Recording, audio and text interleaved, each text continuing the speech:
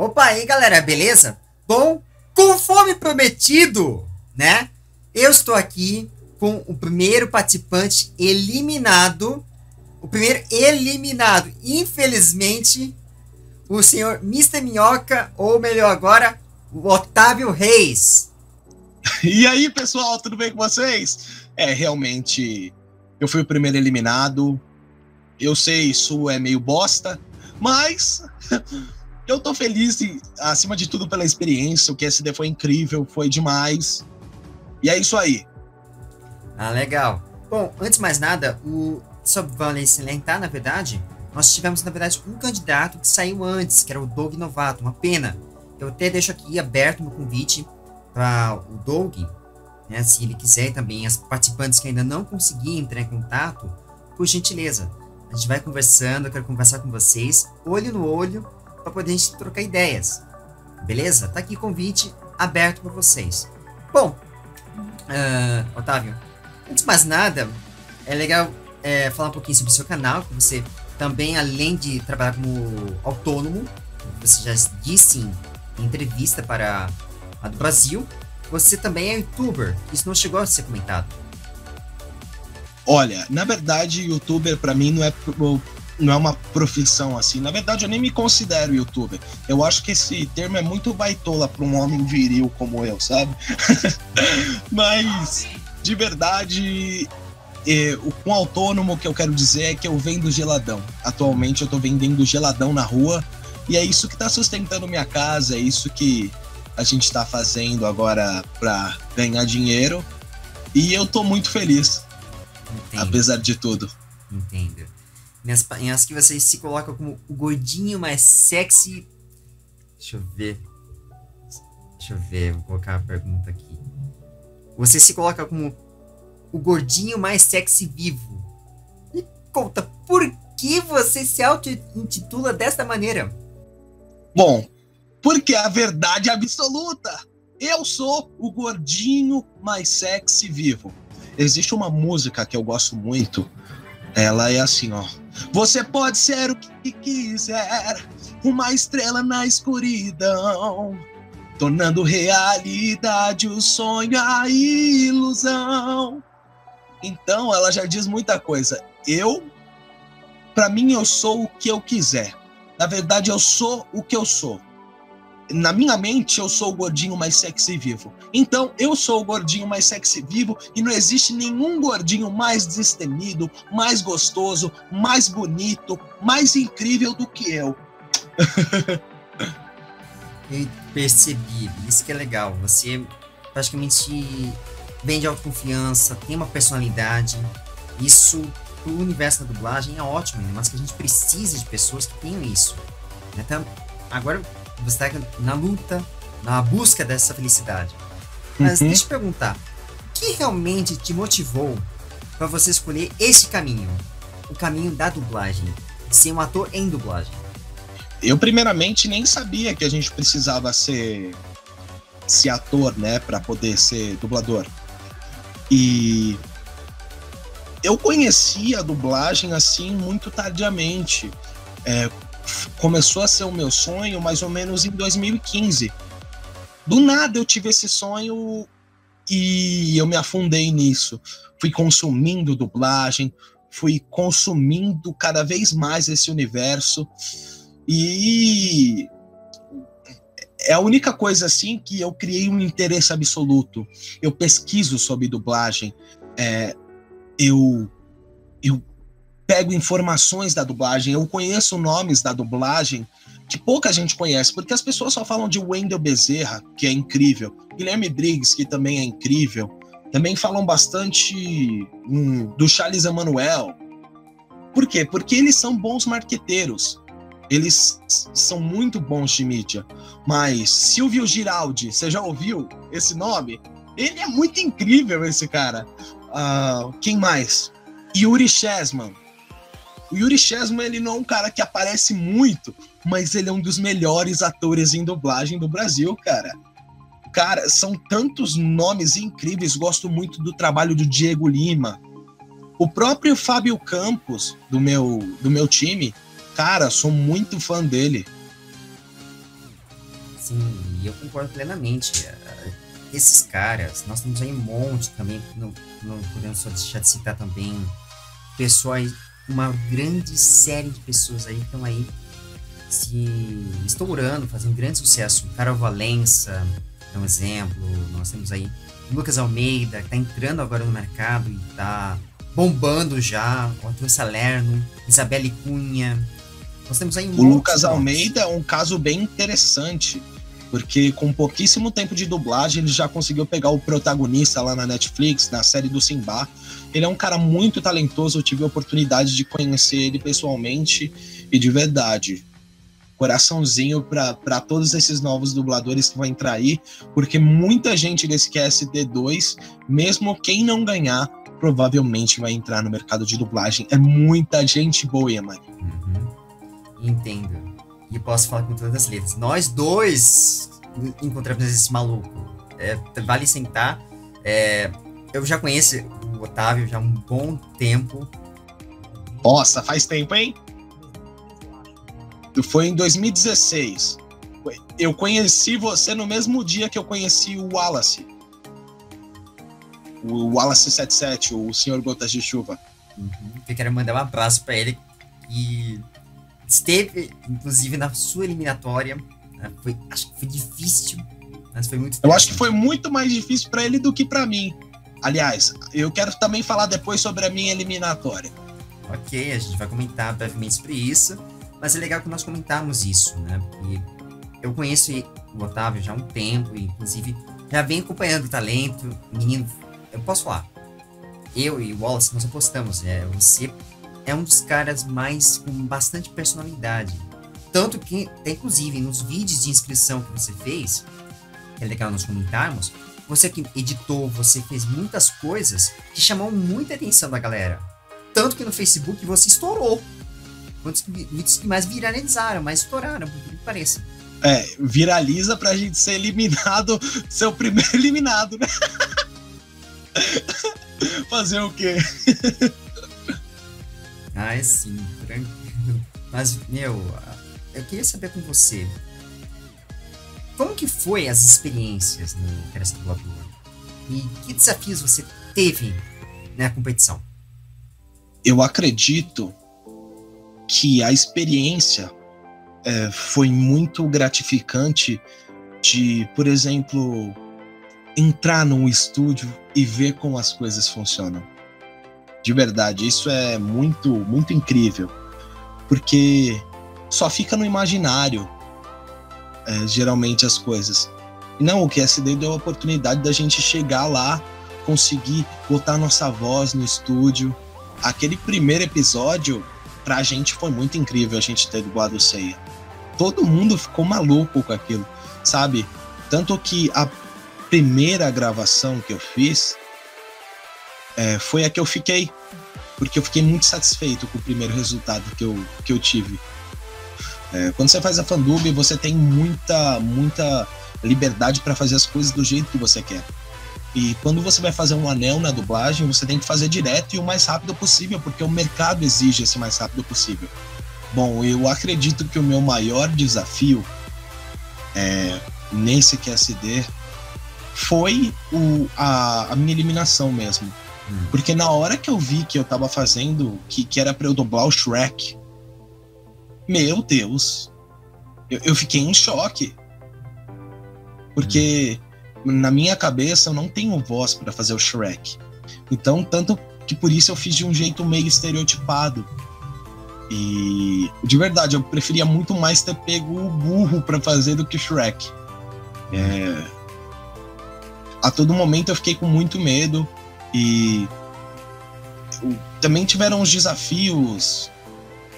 Por exemplo, eu não sei se você viu, mas é, eu tive um erro de dicção no episódio do Universidade Monstros, onde a minha gravação final ficou cagada, porque teve um problema técnico no, no, no, no fone e não saiu direito. Eu tomei um puta de um susto com aquilo e na hora eu entrei em choque. Aí, no momento que eu entrei em choque, a gravação saiu cagada daquele jeito. Aí é, depois disso, eu sinto que as coisas melhoraram um pouco. Depois disso, eu. Na hora que eu vi que era o Shrek, eu entrei em desespero. Eu falei, meu Deus, como que eu vou fazer o Shrek? Porque para mim o Shrek é, tinha uma voz que, sei lá, na minha cabeça não dava para mim. É, eu tenho muito problema nesse negócio de ser mal escalado. Eu, sinceramente, é, não acho que eu tenha sido mal escalado, porque depois, quando eu vi, eu achei que é, ficou bem melhor do que eu achei que eu tinha feito. Ficou muito, muito, muito cagado do, essa a, a minha gravação, mas ficou melhor do que eu achei que seria. Na verdade, você teve uma impressão, né? uma primeira impressão, porque afinal de contas você pegou o áudio cara, uma pedreira. Pelo que eu conheço da história do Shrek, ele já foi dublado do, do Sunda, e a primeira voz, depois disso, com a morte dele, entrou o Mauro Ramos. Mas que era para ser Mauro Ramos desde o começo, mas por conta das questões de Star Talent, que é legal nós comentarmos por isso, brevemente, que ele foi convidado a fazê-lo. E é uma coisa muito, muito interessante no caso, é, que eu vi, que até inclusive assisti o episódio inteiro. Eu assisti todos os episódios, um por um, desde a estreia. E vi muitas coisas que me chamaram muita atenção. Eu critiquei, inclusive, lancei críticas construtivas, analisando cada detalhe. Né? Claro que algumas coisas eu me guardei, porque eu acho que é legal comentar na cara. Eu não tenho medo de falar. Quem me conhece sabe, eu prefiro falar a verdade. Mas uh, uma cagada que acho que não é bem o que aconteceu durante o processo, mas sim às vezes, quando está em gravação, é um toque que é legal nós levarmos em consideração e reforçar essa mensagem. Tem que tomar muito cuidado. Se é para gravar, a Denise, por exemplo, tem que ter pulso suficiente, tinha que ter pulso para poder parar a gravação e falar: Não, Otávio, espera, não, é, estamos em grava gravação. Isso muito bom, muito bom aquele momento. A Denise me dirigiu bem pra caralho. No, isso foi no episódio dos Jovens Titãs, né? Que eu fiz o Mutano. Ela ouviu as críticas. Isso que eu achei legal dela. E mais, é um aprendizado que vocês tiveram. Quando você, é claro, acho que foi você que, se não me recordo, deu aquele. Ih, deu, deu problema no, no, no fone de ouvido e deu um choque. É, esse episódio, eu falei, putz, Grilo, meu Deus, ele tinha que se controlar, porque tava gravando. Isso atrapalha, que tomar muito cuidado. Pior que normalmente, antigamente se gravava assim, todo mundo na mesma sala gravando. É claro que hoje em dia se faz isso mais com vozerio, com burburinho, mas não com vozes principais, onde cada uma das vozes aparece nas cenas e são marcados os anéis. Então, é, são coisas muito interessantes. E agora, entrando na questão, né, é, dos comentários, eu vi alguns comentários um pouco ásperos, até um interessante de um amigo meu, e comentou é, na sua, no dia da eliminação que você foi, é, fez uma voz de documentário. Eu não consegui pegar ainda o personagem, como parece, a observação dele. Mas também você a gente comentou e foi gerada uma questão polêmica sobre uma repercussão de um comentário que você gravou sobre a Denise. Então, é, o comentário veio, vieram de duas pessoas. É, de um participante e, eu, e de uma pessoa que eu acredito que seja a namorada do participante. Bom, o que eu tenho para dizer desse participante é que ele é um idiota. Ele é um idiota. A gente nunca foi um com a cara do outro, onde tá, no espaço que, que a gente fazia as coisas. E de verdade, eu achei o comentário dele vitimista, idiota. Nem a Denise ligou, entendeu? Eu fiquei, eu fiquei muito chateado também é, por comentários em cima desse comentário. É, e o comentário de outro participante, participante que eu gostava muito, inclusive um dos melhores participantes, que disse que, que, que virou o olho na hora que, tipo assim, na hora que ele leu isso porque ele não achou o comentário legal. Gente, é muito vitimismo, é muita idiotice, é muita lacração desnecessária. Bando de, de gente inútil, de verdade. Perder tempo com isso? Mano, é, como que alguém pode se ofender com uma coisa dessa, Yamane? Eu simplesmente acho acho ridículo. O que, o que eu li, no dia eu fiquei furioso, eu tive um ataque, na hora eu fiquei muito chateado. Eu me eu porque eu odeio ser colocado em uma posição de vilão. Porque no meu universo pessoal, eu me vejo muito como um herói. Naquele momento eu fui colocado como um vilão. E as pessoas, é, por exemplo, em geral, ninguém botou a mão no fogo para me defender, só um cara lá, Winchester Cheetos, eu acho que era o nome dele assim, falando que ele tava falando abobrinha. Eu achei muito legal, o cara não necessariamente me defendeu, mas falou que esse participante estava falando coisas desnecessárias. E é, o resto do pessoal falou: ai, gente, obrigado por isso.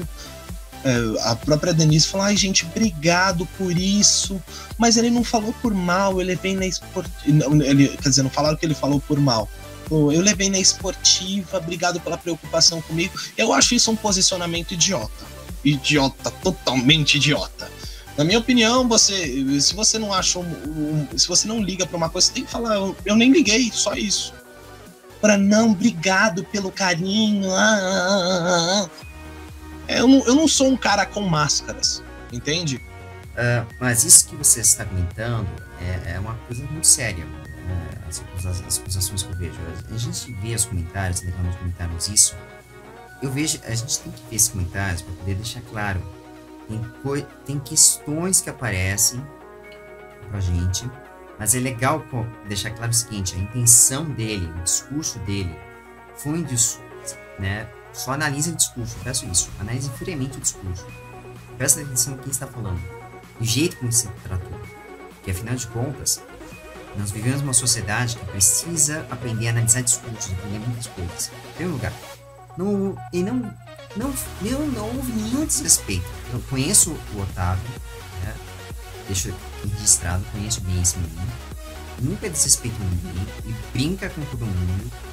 E o comentário foi bem interessante, porque ela elogiou a Denise. Eu percebia o perfil da Denise como diretora. Mas dá, pode se dar muito bem. É o meu comentário. Estou aqui deixando aqui meus comentários e minha análise. Ante as nominações, ante o que aconteceu. É legal nós citarmos isso. A Denise foi demais como diretora. Sim. De verdade. Eu, pode, pode parecer um comentário ácido, mas eu acho que a Denise é melhor como diretora do que como dubladora. Incrível pareça. Ela acho que ainda vai ganhar experiência. Torço para o sucesso dela. Não sei como ela vai aparecer aqui. Eu espero que, por favor, né, se esforcem para não vir aqui, para a gente trabalhar. Brincadeiras à parte, brincadeiras à parte, mas é verdade. Se esforcem esse é um recado que eu quero deixar registrado para vocês. Se esforcem no máximo. Né? Eu quero ver o que foi que aconteceu e deixo aqui registrado isso. Né?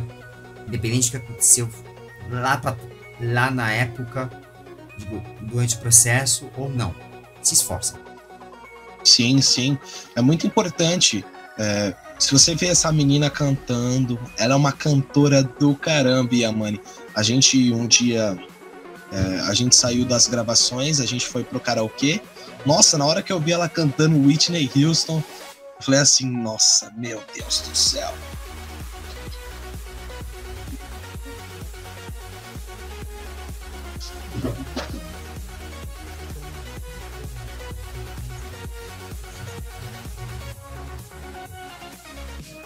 Bom, eu tenho que dizer que em programa, tipo, a relação foi muito positiva com a maioria das pessoas.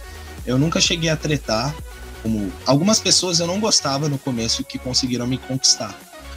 É, por exemplo, uma pessoa que eu não gostava de jeito nenhum e que conseguiu me conquistar. A própria Cris, amiga nossa, né? A gente conhece. A, eu não gostava da Cris, mas a Cris conseguiu me conquistar. Peraí, o avião. Dá pra ouvir o avião? Não? Ah, então, então vamos, vamos continuar falando. É, a Cris, é, ela, ela é uma menina extremamente determinada e ela tem as dificuldades dela, né? A gente sabe que ela tem uma certa deficiência. Não gostava da Cris, eu achava ela muito chata, muito chata mesmo, mas ao longo do tempo ela foi me conquistando. É... Acredito que, olha, eu, eu, eu tenho muita admiração pelo João Vitor. João Vitor foi um menino que desde o começo eu percebi muito amor pela dublagem nos olhos dele. Cara, é o Yamani, eu sei que você ama muito assim a dublagem e eu vi muito do seu amor pela dublagem nos olhos dele. Eu e o João a gente ficava muito empolgado junto falando das coisas.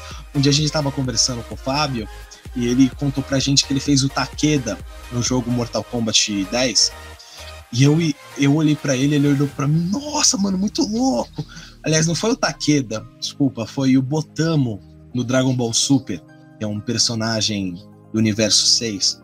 E a gente ficou louco, tipo, muito saudosista na hora. Falou, nossa, não acredito.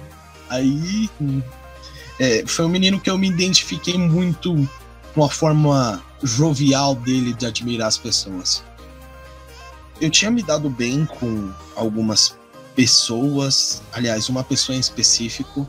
É, eu, na verdade, cheguei até a me. a me. como que eu posso dizer isso de uma forma. É, não constrangedora? Eu tive uma certa atração emotiva por uma pessoa ao longo do programa e não tenho mais, não tenho mais contato, também não quero dar mais detalhes sobre isso, é, mas foi tinha sido uma coisa muito é, especial para mim, sabe, ter amizade dessa pessoa, mas essa pessoa me apunhalou e isso me machucou muito na época, muito mesmo. E de verdade. É, foi uma coisa que me machucou a ponto de me fazer sentir uma coisa que eu não sentia há muito tempo, que é ódio. Eu acredito que depois desse evento que aconteceu, eu a minha personalidade ficou muito mais raivosa. Isso influenciou muito no meu psicológico, porque eu não estava preparado para esse tipo de coisa. Entendeu? E. Quer? ah, não, entendeu? Eu não estava preparado para esse tipo de coisa e e vai, vamos ver quem mais eu gostava. É, a equipe beta em geral eu gostava muito. É, o Davi é um cara sensacional. Eu gostei muito do Elton, até ele apoiar o comentário daquele cara lá no, sobre aquelas coisas. Agora, da equipe Gama, é, eu gostei bastante. Gostei bastante da Stephanie, gostei da, da, da Gabi também. O Eliseu é muito parceiro meu, acredito que foi a melhor amizade que eu fiz nesse programa. Eliseu também, que a gente conhece, a gente já deu rolê junto, né? O, agora da equipe Alpha, eu quero dar um destaque especial para uma pessoa que talvez você não consiga entrevistar, Yamani. Você sabe de quem que eu tô falando? Aí tá difícil pra, car... pra caramba. Exatamente. Ela. A, a, pode falar o nome dela aqui? Por favor. A Carol. A Carol, gente, é incrível. É a mulher mais talentosa desse programa. É, eu, eu queria, eu não falei que eu estava torcendo para ela, mas é, ela hoje em dia é a minha torcida principal, de verdade, porque quando eu vi ela em ação, cara, ela é muito boa, ela é muito, muito, muito, muito boa. Eu tenho, tenho um orgulho de, de ser amigo dessa mulher. Ela é muito, muito boa. Então, a sua torcida. A voz dela é, é, é, bonita, a voz dela é sensual. Ela, ela tem um, um, uma atuação muito boa. E de verdade. ela, para mim, tem que ser a vencedora do QSD. Então você torce pra Carol, a Carol Silveira. né? Da Carol, da Carol e do João Vitor. O- os dois são as pessoas que eu quero que vença. Apesar de eu ser muito amigo do Eliseu, é, es- esses dois são a minha torcida.